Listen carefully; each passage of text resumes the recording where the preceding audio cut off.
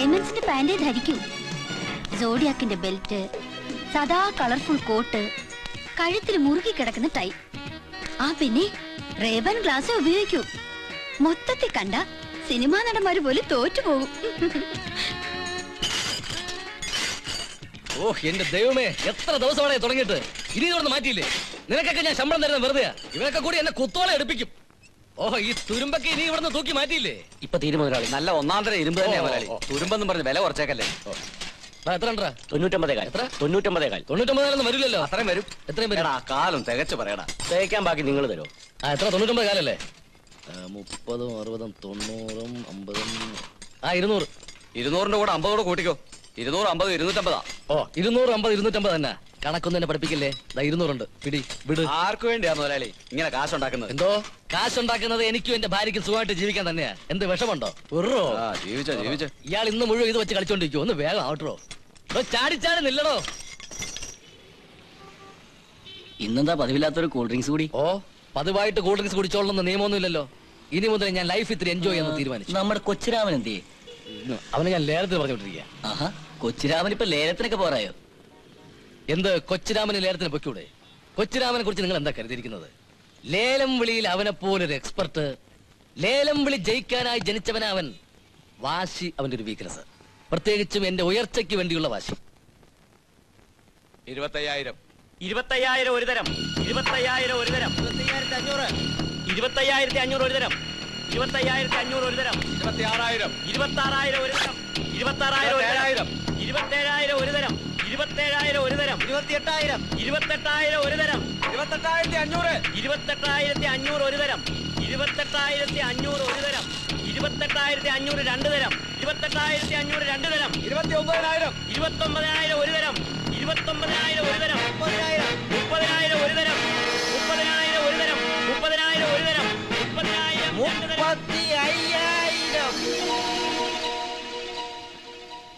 മുപ്പത്തയ്യായിരം ഒരു തരം. മുപ്പത്തയ്യായിരം ഒരു തരം.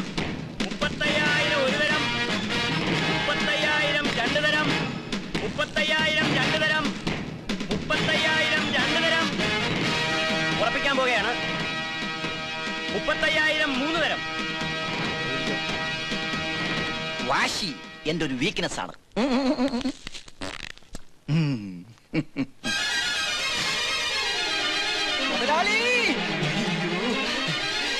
അയ്യോ ലേലം സക്സസ് കിട്ടി മുതലാളി പറഞ്ഞതുപോലെ തന്നെ കിട്ടി. നടന്നത് മുഴുവൻ വിശദമായിട്ട് പറ. നടന്നത് മുഴുവൻ വിശദീകരിച്ച് തന്നെ പറയാം. പറ. പറയാ പറയാ പറയാ പറയാം. ആദ്യം നമ്മുടെ ലെവനില്ലേ? കോട്ടപ്പടി കുട്ടപ്പൻ. അവൻ പതിനായിരം രൂപ വിളിച്ചു. എന്നിട്ട്? ഞാൻ വിട്ടില്ല. ഞാൻ തീപ്പെട്ടി എടുത്തൊരു ബീഡി കത്തിച്ചു. കണ്ണമാരി കരീം പതിമൂവായിരത്തി മുന്നൂറ്റി മുപ്പത്തി മൂന്ന് വിളിച്ചു. അപ്പൊ നീ?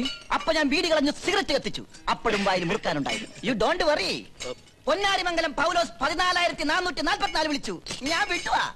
അപ്പോ? ഞാൻ സിഗരറ്റ് ആഞ്ഞു വലിച്ചു പുക പോലും പുറത്തേക്ക് കളയാതെ ആഞ്ഞു വിളിച്ചു. പതിനയ്യായിരം. മിടുക്കൻ. നിനക്ക് ഞാൻ സമ്മാനം തരുന്നു. സമ്മാനം തരാൻ വരട്ടെ. ഒന്ന് വേഗം പറയടാ. പറയാം. വാശി എന്റെ ഒരു വീക്ക്നെസ് ആണെന്ന് മുതലാളിക്കറിയാലോ കോട്ടപ്പടി കുട്ടപ്പൻ പതിനെണ്ണായിരത്തി അഞ്ഞൂറ്റി അമ്പത് വിളിച്ചപ്പോ ഞാൻ ഇരുപതിനായിരം വിളിച്ചു? ആയിരം പോയി. ആയിരം പോയാൽ എന്ത് വേണ്ട മുതലാളി? ഒടുവിൽ ഞാൻ മുപ്പത്തയ്യായിരത്തിന് ഉറപ്പിച്ചു. മുപ്പത്തയ്യായിരം വിളിക്കാൻ നിന്റെ അപ്പം കാശിട്ട് കൊണ്ടുവന്നിരിക്കുന്ന ഭയങ്കര ചതിയായി പോയല്ലോ. മുതലാളി ഞാനല്ല ചതിച്ചത്. എന്റെ കൂടെ വിളിച്ചവരാ. അവർ കൂട്ടിക്കൂട്ടി വിളിച്ചപ്പോ മുതലാളിയുടെ ചീത്തപ്പേര് കളയാതിരിക്കാൻ ഞാൻ കേട്ടു വിളിച്ചു. മുതലാളി വിഷമിക്കണ്ട. അടുത്ത ലേലത്തിൽ എന്റെ വീക്ക്നെസിന്റെ ഡോസ് അല്പം കുറച്ചോളാം മുതലാളി. എന്റെ വായിരിക്കുന്ന കകതം പോ പോ പോ. അപ്പൊ നാളെ കണ്ണമാലി ലേലത്തിന് പോണ്ടേ? കണ്ണമാലി അല്ലേ ഓ എത്തിയോ? ഒരാഴ്ചയായി പുറപ്പെട്ടിട്ട്. ഇത് കാണാൻ മുതലാളി. ഒന്നിങ്ങോട്ട് ഹെൽപ്പ് ചെയ്യടാ. ഇതിന്റെ ഇതിന് സ്റ്റാൻഡ് ഇല്ലേ? ലേലത്തിലുള്ള വണ്ടി കാണുന്നില്ല.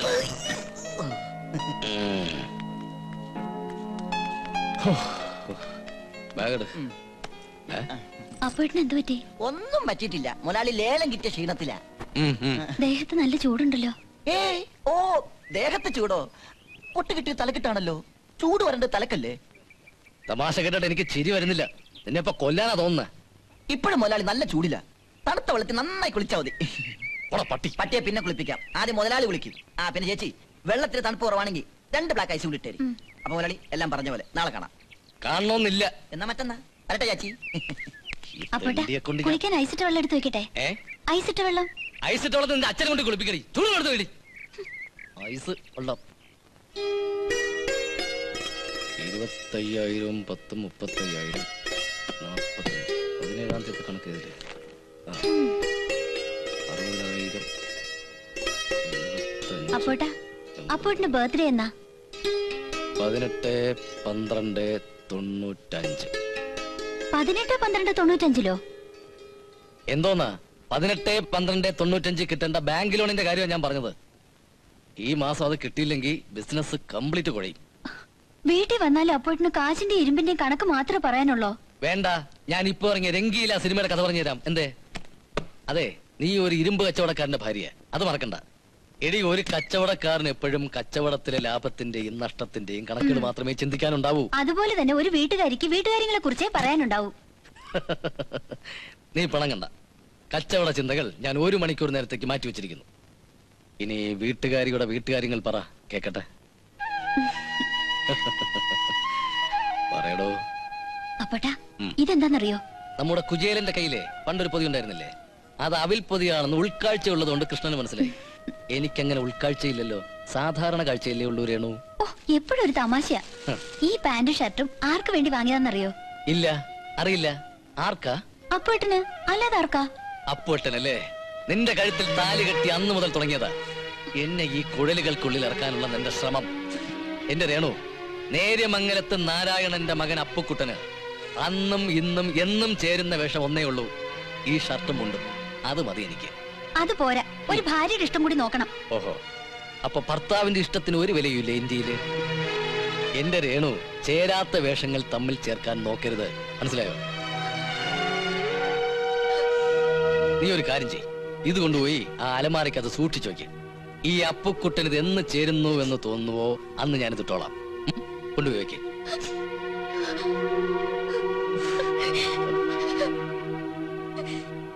എന്തിനാ നീ നിന്നിങ്ങനെ മോങ്ങുന്നേ? അതിനിപ്പോ ഇവിടെ എന്താ ഉണ്ടായേ? മോയിക്കോ മോയിക്കോ അല്ലെങ്കിൽ ഈ വർഷം എനിക്ക് സ്വസ്ഥത ഉണ്ടായിട്ടുണ്ടോ. എങ്ങനെ ഉണ്ടാവും?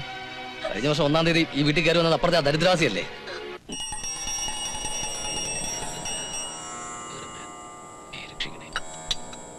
ഈശ്വര. ഓ ഓ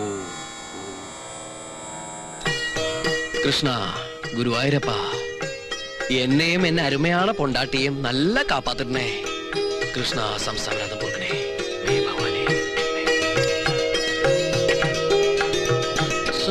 ദേവിതം ചിത്രഗോപുരങ്ങളെ ശാന്ത വേണമാ.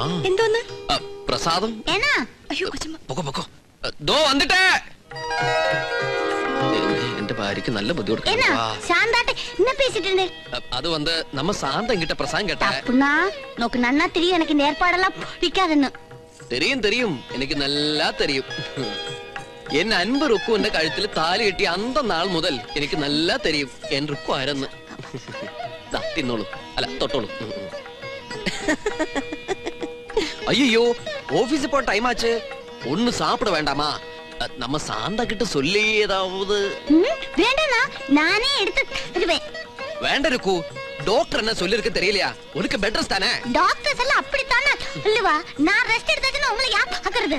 அது பிரச்சனை இல்ல. உள்ள நம்ம சின்ன கண்ணு இருக்கு இல்லையா? போங்கண்ணா. ஐயோ அப்படி போவாது. மெதுவதா போனோம் இப்படி. வெக்கமா இருக்குண்ணா.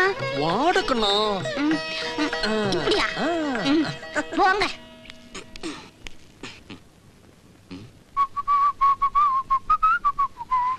ருக்கு நான் போயிட்டு வரேன். சொல்லிட்டேன் என்ன விஷயம்? ஐயோ சாரிண்ணா வலிச்சதா ரோட்ல எல்லாம் நிறைய பெண்ணுங்கள் உண்டு அவர் யாரும் என் புருஷனை கண்ணு வைக்க கூடாது அதுக்குதான் இந்த பியூட்டி ஸ்பாட் அப்புறம் பொம்பளைங்களை பார்க்க கூடாது நான் வெஜிடேரியன் சாப்பிட கூடாது சிகரெட் பிடிக்க கூடாது ஸ்ட்ரெயிட்டா போய் ஸ்ட்ரெயிட்டா வரணும். ഇനി വേറെ ഇലൂമിനേഷൻ ഡെക്കറേഷൻ വർക്ക് ഏതാവത് വേണമോ? കണ്ടത്തിൽ വെച്ച കോലം പോലെ ഉണ്ട് ഞാൻ വരട്ടറുക്കൂ അയിരൂരിൽ കണ്ടെത്തി. ഞാൻ അത്. മോർണിംഗ് മോർണിംഗ് ഇതെന്ത് ഈ വേഷത്തിൽ? ഓട്ടം തുള്ളലുണ്ടോ നിനക്ക് കുത്തുവാക്ക് പറയല്ലേ എന്റെ അപ്പുക്കുട്ട. സ്നേഹമുള്ള ഭാര്യയുടെ ആഗ്രഹങ്ങൾ സ്നേഹത്തോടെ അനുസരിക്കുന്ന ഒരു നല്ലവനായ ഭർത്താവാണ് ഞാൻ. അല്ലേ രേണു? അത് രേണുവിന് എങ്ങനെ അറിയാം? സ്നേഹത്തിന്റെ വെയിറ്റ് ഉള്ള കുത്തായിരിക്കും മുഖത്ത്. ദാ ഇവിടെ ഇവിടെ. ഇന്ന് കരിയിൽ ഒതുങ്ങി. എന്താ പോട്ടത്? രുക്മിണിയുടെ സ്വഭാവം അറിഞ്ഞോണ്ട് തന്നെ എന്തിനാ പാവം പ്രേമനെ കളിയാക്കുന്നത് ഹാവോ രേണുവെങ്കിലുണ്ടല്ലോ എന്റെ ഈ അവസ്ഥയിൽ സഹതപിക്കാൻ. ഇത് സഹതാപമല്ല പ്രേമ. ഈ അവജ്ഞയിൽ നിന്നൊക്കെ ഉണ്ടാവുന്ന ഒരു തരം പുച്ഛമാ.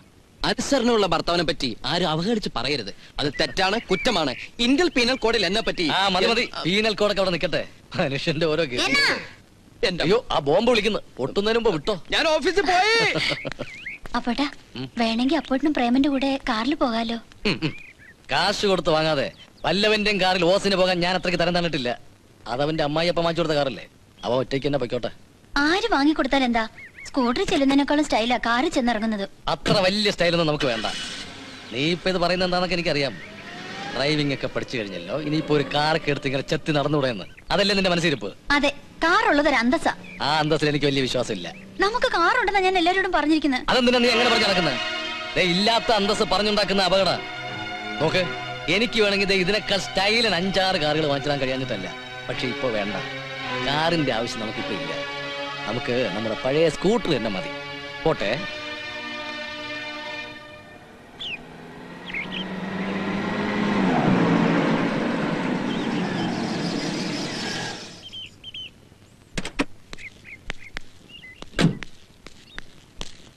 ഗുഡ് മോർണിംഗ് സാർ ആരെങ്കിലും ഒരാൾ പറ.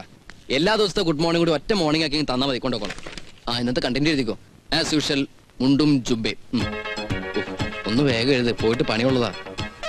പിന്നെ നെറ്റിയിൽ മൂന്ന് തലവര. നന്നേ മതിയായിരുന്നു. ഭസ്മക്കുറി കവളിലൊരു കറുത്ത കുത്ത സാർ അത് സ്ട്രെയിറ്റ് ആയിട്ട് പോയിട്ട് സ്ട്രെയിറ്റ് ആയിട്ട് വരാൻ അവളുടെ അമ്മയുടെ ഒരു കുത്ത. അത് നോട്ട് ചെയ്തു? അതിന്റെ റൂമിന്റെ ചവിങ്ങ. ഇതാ സാർ ഒരു ചേർച്ചയും ഇല്ലെങ്കിലും പെണ്ണ് വീട്ടിലെ പണം മോഹിച്ച് പെണ്ണ് കെട്ടിയ പട്ടിയുടെ ഗതികേടാ മനുഷ്യന്. അതിന് പ്രേമൻ സാർ തന്നെ നല്ലൊരു ഉദാഹരണമാണ് എങ്കിലെന്താ അയാൾ വിലസണ്ടല്ലേ?